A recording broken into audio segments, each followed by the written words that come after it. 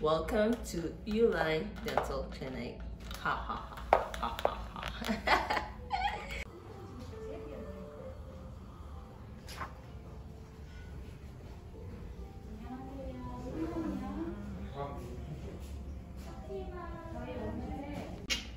Hi, my name is Fanta. I'm 23 years old and I'm from Senegal. Oh, and what are you doing in Korea? I'm working as a model here. Why you're here today?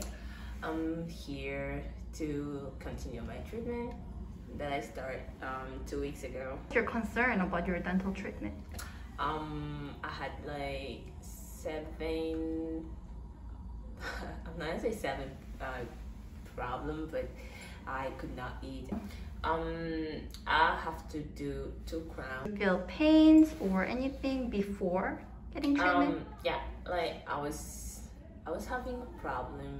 Like I was feeling pain when I eat, like meat or something like that. so why did you decide to visit Uline Dental Clinic? I was looking for a clinic, so first of all, it was hard to find a clinic where the dentist or somebody in the staff uh, speak English. So, and a friend also recommended this place, and yeah, I did not.